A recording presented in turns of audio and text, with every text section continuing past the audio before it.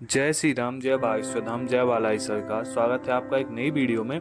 तो देखिए सच चुका है हमारे पूजनीय बागेश्वर धाम सरकार का मंच और पंडाल भी पूरा बनकर तैयार हो चुका है।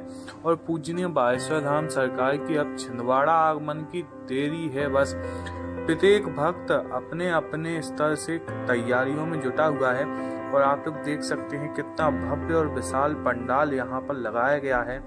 पूजनीय बागेश्वर धाम सरकार की जो कथा है, वह पाँच छः सात अगस्त को छिंदवाड़ा की सिमरिया में होने वाली है और इस कथा के मुख्य यजमान कांग्रेस के मध्य प्रदेश के पूर्व मुख्यमंत्री कमलनाथ जी के छोटे बेटे नकुलनाथ जी हैं। तो पूजनीय सरकार जल्दी पधारेंगे सिमरिया और एक दिवसीय दिव्य दरबार भी लगाएँगे। तो यदि आप लोग आसपास से हैं तो अवश्य पहुँचे और धर्म लाभ लें। कैसी लगी आपको वीडियो, कमेंट करके ज़रूर बताएँ। चैनल पर नए हैं तो चैनल को सब्सक्राइब कर लें। यदि आप लोग सुमरिया पहुँच सकते हैं तो अवश्य पहुंचें। जल्दी आऊँगा ऐसी किसी नई वीडियो के साथ। बागेश्वर धाम की जानकारी प्राप्त करने के लिए आप हमसे जुड़ सकते हैं। Thank you so much for watching